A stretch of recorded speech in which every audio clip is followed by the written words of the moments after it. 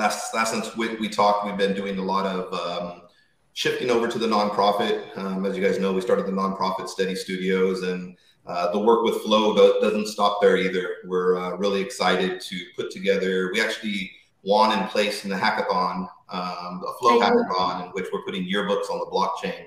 So we're lo- working with a couple of local school districts and uh, working with the uh, Flow grant community as well too to uh, see if we can get a lot of students their first uh, digital wallet and really introduce them to the digital identity